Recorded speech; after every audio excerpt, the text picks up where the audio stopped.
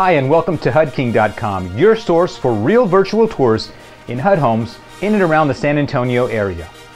If you're watching this on HUDking.com, click on the bird to follow us on Twitter, click on the F to follow us on Facebook, or click on the YouTube link to be taken to our YouTube page. While you're at our YouTube page, if you click on the subscribe button, you'll be instantly notified of new uploaded videos. Now on to the home.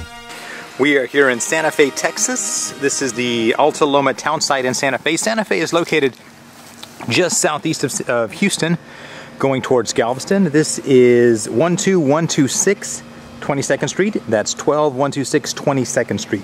This is a four bedroom, two bath, two story home, approximately 1,861 square feet. This home was built in 1901 according to HUD, and it sits on about a 15,000 square foot lot. It's a pretty nice sized lot. Exterior wise is wood siding. It does look like they at one point had a garage structure here. It's no longer there, but the slab is still here, which is nice. Slab's actually in decent condition, no cracks, so they must have poured it right. You could easily construct another garage here. On the side though, it does have a little bit of exterior wood rot. Around the base here, you can see that there are some areas where you'll probably want to come in and replace some of the wood rot. Let's take a look at the backyard and we'll look at the inside. Just give you another view of this, this side of the home over here. It does have storm shutters, which are nice.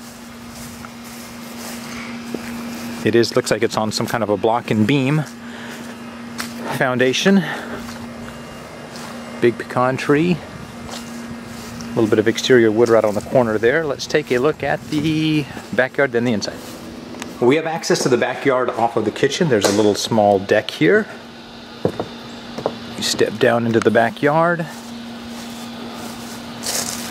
Now I do recommend getting a survey so you know exactly the dimensions of your lot, but exterior wise you can see there's a little bit of mildew on the back and a few pieces of damaged siding. It does have central air which is nice and you have a little closet here for your water heater. Let's take a look at the inside. Well as we step into the home, as I said, this home was built according to HUD in 1901, so it does have some interesting character, interesting layout.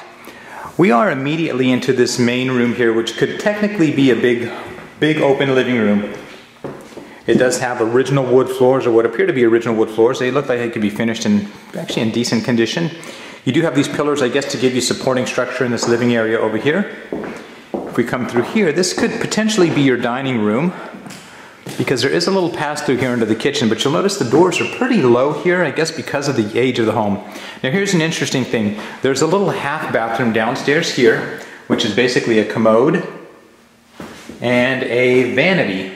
So you do have the use of a half bathroom downstairs. You don't have to go uh, all the way upstairs, but if we come through this little passageway into the kitchen, there's actually a shower here behind there. So there's a full bathroom, potentially full bathroom downstairs we come through this little opening and then we're into your kitchen.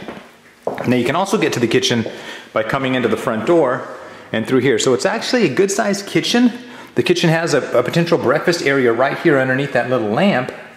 And then you have access to going into your backyard here and you have a combined pantry and washer and dryer area here. So your washer and dryer connections are here inside. You have pretty much a, a dining room here, your kitchen, and then the bedrooms will be upstairs. There's a little storage space underneath the staircase that looks original to the 19 early 1900s. We make our way up the stairs. A little bit of a steep staircase here. Now, because this home is rather old, the bedrooms are a little small. When we get upstairs, we come around the corner here, we have bedroom number one at the top of the staircase. This is a very small bedroom. It's probably about an eight by eight. It's gonna probably need the flooring to be redone and a fresh coat of paint. Right next to that, we have your bathroom, full bathroom number two, which is a shower and tub combo. You have a little vanity here and your commode. Does have a high ceiling and it has just cheap linoleum flooring in here. There are wood floors upstairs. Next to that, we have bedroom number two.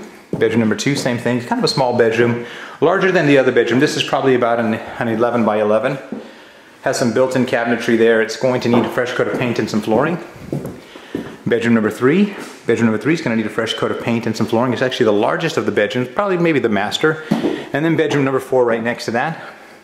This bedroom is going to need a fresh coat of paint. You have some closets that they constructed in here and some flooring. So all in all, interesting home, as I said. Uh, early construction, built in 1901 according to HUD. And it's about 28,000 underneath the county appraisal. You could probably own this home for about 900, maybe 950 a month. Let me give you a summary. Well, there it is, 12126 22nd Street. That's 12126 22nd Street in Santa Fe, Texas. This is an interesting four bedroom, two bath, two story home. As I said, it was built in 1901. Older home sits on a nice large lot. It's about $28,000 underneath the county appraisal, listed right now for only $104,000. So if you're interested in this home and you don't have a realtor, I would love to earn your business. You can reach me at 210 706 0616. My name is Jonathan. I am the HUD King and I want to help you find your castle.